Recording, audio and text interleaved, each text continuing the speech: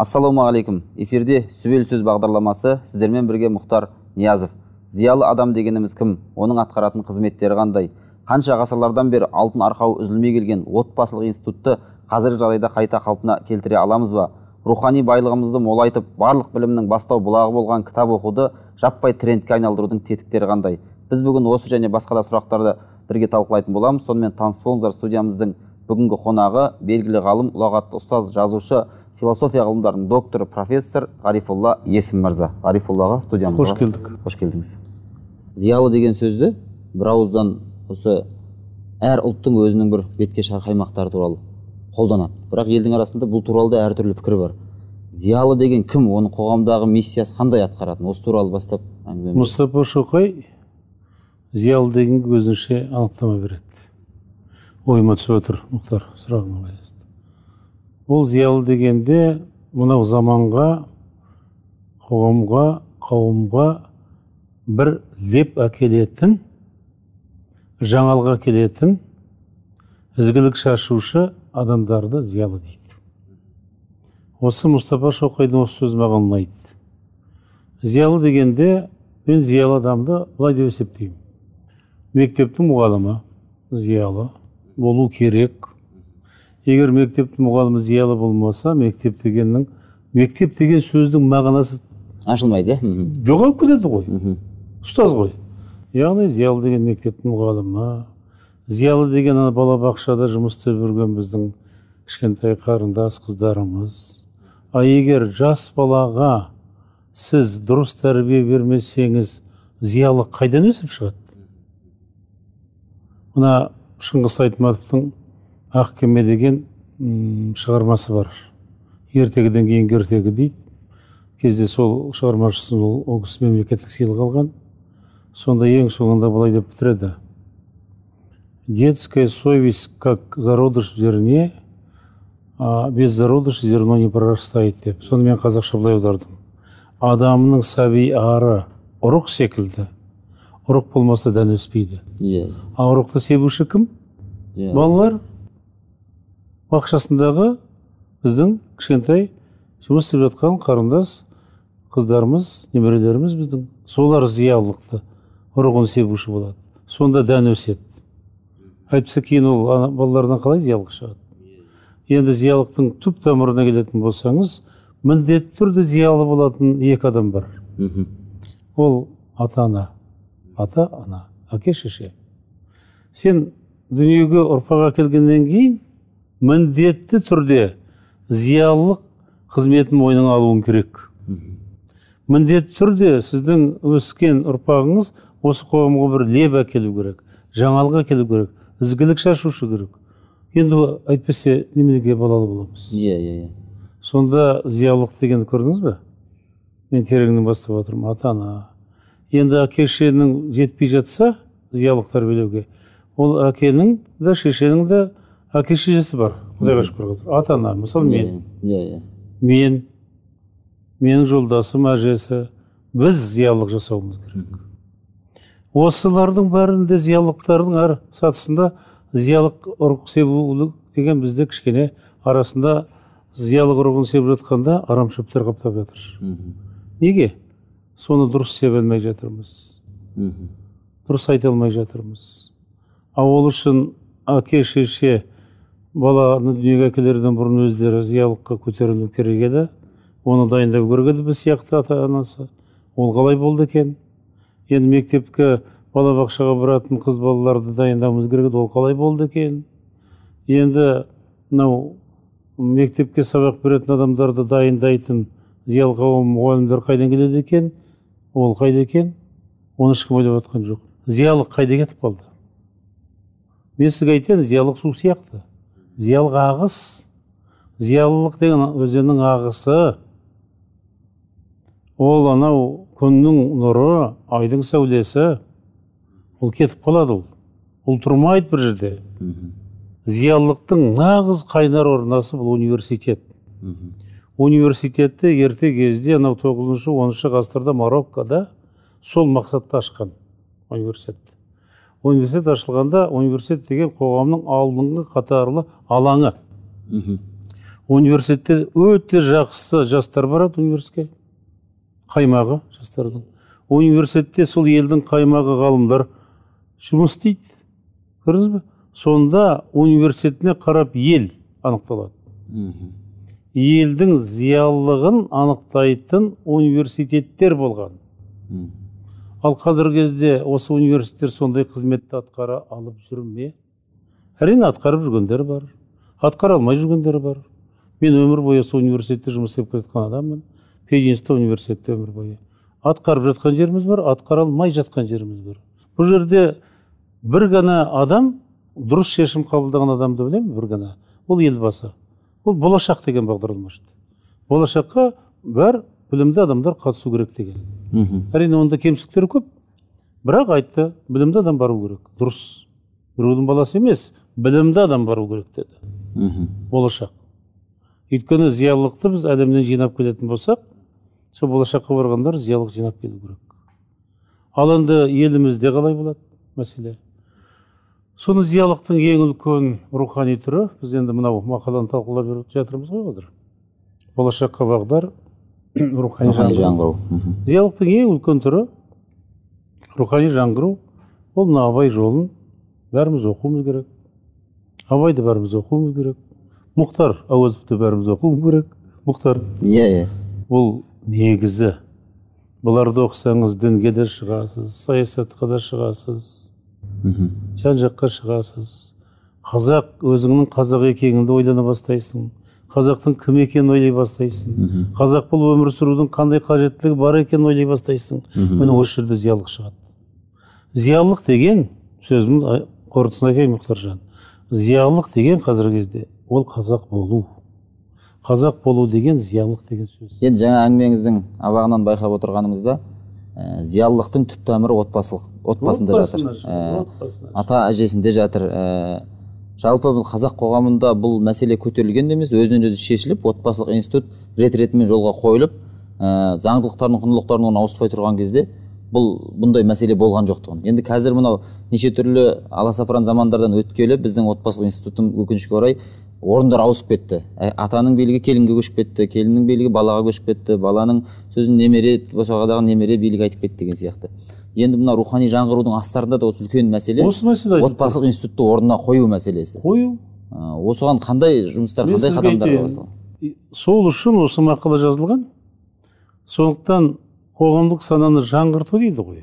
Сананы жаңғыртуымыз керек. Жаңғыртқанда сіз аспаннан көктен марстан іздеме. Өзіміздің ә, тәрбиемізде бар ғой. Сол тәрбиемізді қазіргі жаңа заманға сай жаңғырту керек. Мхм. соны жаңғыртатын болсақ мына отбасылық институтты ол бізде бәрі бар ғой. Сол абай жолы романын оқысаң бәрі жазылған. Бізде былай болды ғой. Бізді адастырды ғой. Мысалы ресей патшалығы басып алып адастырды дей одан кейін социализм адастырды. Біз адасып жүрдік қой үнемі. Иә, адасып жүрдік арақ ішіп жүрдік үнемі мас болып жүрдік. Мына социализм кезінде ана адамдардың өмірін былай өлшейтін болсаңыз негізгі 24 сағаттың ішінде бір 10 сағаты мас болып жүреді адам. Мхм. өзі солай тәртіп қалыптасып қалды. Соны мас болып жүргенде сен көп нәрсені аңғара алмайсың иә иә. Сол кезде мен ойлайтынмын осылар арақ ішіп жатқанда ешкім қой демейді. Сөйтсе қой демейді екен ол қайта оны дұрыс деп есептейді екен ана идеология. Идеология ана мас болып иә. жүретін болса ол мас болып жүре береді. Ал егер сау жүретін адам ол көре қояды ғой. Мынау қате мынау қате біз ада- адасып жүрдік енді сол мастық кезден сауығатын жағдай келді. Сауығып жатырмыз құдайға шүкір. Мысалы мұхтар сіздер сауығып келе жатсыңдар сіздің сіздің ұрпақтарыңыз. Енді осы мәселе біздерде болып тұр біздің үлкен ұрпақта. Біз анау сабақтастықты үзіп алдық. Мысалы менің әкем атам олар дұрыс келе жатыр еді. Иә иә. олар кетіп қалды. Ал мен соны ары қарай алып кете алмай отырмын. Мен жеткізе алмай тұрмын бізді тыңдамайды. Иә иә. Бізді біз сияқты адамдарды қазір анау балалары немерелері тыңдамайды. Мхм. тыңдамайды. Ол сен оларға не емессің әлгі? Бедел емессің. Иә иә. А неге өйткені біз өзіміз солай тәрбиелеп әкелдік. Баламызды да немеремізді де өзімізге құрмет жасамай біз құрметті бір басқадай жасап өтірік жүріп өтірік өмірмен вообще өтірікші болдық қой. Қазір енді бір жиырма шақты кітабым бар жазған одан да көп шығар даже мүмкін. Сонда неге көп жаза алмадым көп айта алмадым десем менің көп уақытымды өтірік алып кетті. Менің балалық кезімді жастық кезімді өтірік алып кетті. Өтірік болғаннан кейін ана ойлаудың бәрі жүйелері қате болды. Енді енді ойлай бастаған кезде мынау ғұмыр деген уже қысқарып жетіп келді жетпіске жетіп қалдық. Иә иә. Көрдіңіз ба сонда енді сіздерге бір жақсылық мұхтаржан сіздерге біз өтірік айтып отырғаным жоқпын мен. Маған өтірік айтпаған екі адамды мен жақсы білемін. Үйде ол әкем ол шешем ол әкем ол содан кейін атам еді есім ата біз мына өзіміздің кемшілігімізді білген ел өзінің кемшілігін білген адам өзінің кемшілігін білген қоғам ол мықты қоғам. Мхм. біз қазір кемшілігімізді айтып жатырмыз. Иә иә. Ол айтып жатқан деген сол әлсіздігіміз емес ол біздің мықтылығымыз. Тану ғой кемшілік. Біз егіп жатырмыз. Мына мақала елбасының нұрсұлтан әбішұлы назарбаевтың мына мақаласы болашаққа бағдар рухани жаңғыру деген өте тамаша мақала. Ғарифоллаға жақында ғана мерейлі жетпіс жасқа келіп жеттіңіз жетпіс жасыңыз құтты болсын. Қазақ өзі жетпіс деген сөзді екі сөзден тұрады ғой жетпіс деген. Жетіп пісіп бір жеміс беретін бір ә, осы уақытқа дейін де талай еңбектермен халықты қуанттыңыз. Жаңа социализм деп қалдыңыз сөз арасында. Социализм деген еңбегіңіздің ә, шетелдерден украинада турциядан шығып жатқанын білеміз. Жалпы басқа қандай жаңалықтармен келдіңіз? Және бұл еңбек қандай еңбек осы туралы мен социализм туралы жазғаным бір үлкен еңбек деп есептеймін. Роман эссе. Турцияда жақсы бағаланып жатыр. Америкада жақсы бағаланып жатыр. Украина жақсы бағалап мені шақырып тараз григорий шевченко университетте лекция оқып қайттым. Өте көп пікірлер келді маған студенттерден. Қазір мұң деген роман жазып бітірдім. Оның алдында бір тамаша кітап дүниеге келді. Бұл кемеңгер мұхтар деген. Абай жолы романын кемеңгер мұхтар керемет жазған сол кездің өзінде айтатын сөздерін жасырып отырған зерделі адам зиялы адам білет не айтқысы келіп отырғанын. Сіздің дәуірдің адамдарының ең үлкен мақсаты ең үлкен бір жетістігі бас жақтарында кем дегенде жастықтың астында бір жартылай оқылған кітап жататын еді. Ә, қадыр мырзалиев көкеміздің бір сұхбатында айтыпты көне қытайда ертеде бір дәстүр болыпты ә, мына сонша миллиардтаған халықты қатал заңмен ұстап отырған халық қос уыс бидай ұрлаған адамның қолын шауып жатқанда қалаған кітабын ұрлап кеткен адамға жаза кеспейді екен. Өйткені халықтың сондай бір интеллектісін көтеру жолында ол ұрлап кеткен адам оны барып сату мақсаты өзінше шығар. Кітап сатқанда бәрібір жақсы. Екіншіден ол сол өзінің деңгейін көтеру мақсатында әйтеуір үйдегі кітапты тауысып алуға ақша жоқ ұрлау. Енді біздің қоғамның қазіргі кітаптан алшақтап кеткендігіміз жаппай емес бірақ ол шындық әртүрлі факторлар бар. Интернетіміз бар басқамыз бар. Енді жаппай осы қазіргі кейінгі жеткіншектерді кейінгі осы ә, осы балаларды қазіргі жастарды кітаппен қауыштырудың қандай жолдары бар қандай тетіктері бар? Жолы толып жатыр. Сан қилы жолы бар. Ең бірінші мына бала шимайдан бастайды. Мхм. Шимай деген ол оқуы жазуы. Одан сурет жасай бастайды. Соны ертегі оқи бастайды сонда ертегіні беру керек. Содан кейін бұл балаға өзі тиісті бағдарлама бойынша жазған нәрселер беріп жатса оны оқып отырады. Мектепте оқып отырады. Университетте оқып отырады.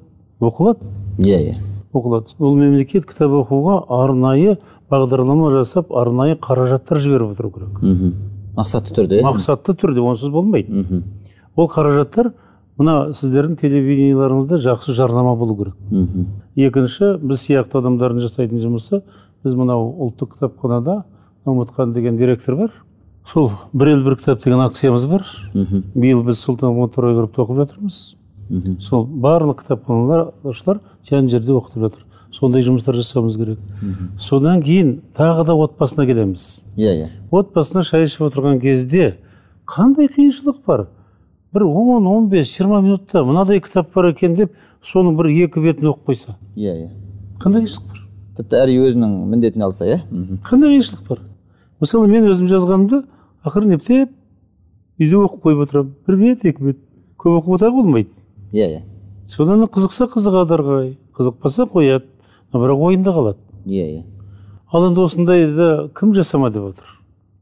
Содан кейін кітап оқу деген бұл ойлану ойға ену деген сөз. Мхм. Содан кітап оқудың ол өзі философиясы мүлдем басқа. Иә иә. Мына планшеттің философиясы басқа. Бір көзге әсер етеді тағы басқа не етеді. Кітап деген ол басқа нәрсе. Кітаптың өзінің иісі болады иә? Ол басқа нәрсе кітап оқу деген ол өте үлкен мәселе. Біз оны үлкен проблема қылып айтып жүрміз кітап мен ойлаймын оқиды адамдар. Өйткені кітап магазиніне барамын ғой арнайы. Сонда кітап алып жатады кісілер. Қанша қымбат болса да қазір қымбат оқып жатыр. Сонда алып жатыр ғой енді иә иә. Алып жатыр. Бірақ соны айтып отырмын ғой бір екі жақтан жұмыс жүрмей тұр мемлекеттік бағдарлама ретінде бұны жарнамалау соның отбасында кітап оқу тәжірибесі. Оны да жарнама арқылы айтуға болады. Иә иә міне екеуміз отбасында отырмыз осындай кітапты оқып отырмыз. Мынадай жер десең мұхтар айналайын жақсы сөзге елең етпейтін дүниеде адам жоқ. Жақсы сөзге елең ете түседі. Соны елең ететіндей сөз айтсаң ана кісіге қажетті өзінің өміріне қажетті сөзді бере қойсаң ол оған елең етеді. Мхм. Сондықтан бұл біз біз жұмыс істемей жатырмыз көп мына англияда америкада бұндай жұмыстар өте қауырт жүргізіп жатыр. Қауырт. Содан сіз қараңызшы мысалы англияда америкада мынау планшетіңізді бәріңізді қаптап тұр ғой Иә, иә. ақпарат ну бірақ кітап дүкендерінде кітап қаптап тұр. Кітап кафелері бар андай иә қаптап тұр. Содан кейін анау қазіргі кезде бізде анау нелер ә, мейрамханалар шығарып жатыр. Мейрамханада отырып кітап оқып отырады олар. Иә иә. Ал қазір ондай жасалып жатыр кітап қойып. Ол бар ол әлгі алға кеткен елдерде. Біз сол алға кеткен елдердің бір кездегі жасаған кемшілігіне жаңа келіп жатырмыз. Мм. енді сол кемшілігіне мына жетістігіне жетуіміз керек. Мхм. енді елбасымыздың өзі болашақта мына компьютер оқығандарды кітап оқығандар басқарады деуінің өзі кітаптың үлкен жойылмайтын құндылық екенінің бірден бір дәлелі болса керек. Арифолла аға бүгін біздің студиямызға келіп халыққа осындай үлкен тәлімді тағылымды әңгіме айтқан үшін үлкен алғыс айтамыз. Алла ғұмыр жасыңызды ұзақ қылсын. Алла шығармашылық табыс тілейміз. Мынау жазып қойған сүбелі сөз демесің ғой? Иә иә. Сүбе деген мынау өзі мен атамыз малшын балаларымыз ғой иә иә. Сүбе деген бір өзі өте жақсы жер. Сүбелі жерді сүбелі адамға береді. Сондықтан сізге үнемі сүбелі сөз айтатын адамдар келетін болсын. Әумин әумин. сол. Біздің бағдарламамыз бүгін осы жерден тамам. Ел мен жұрт аман ойымыз орамды сөзіміз сүбелі болсын.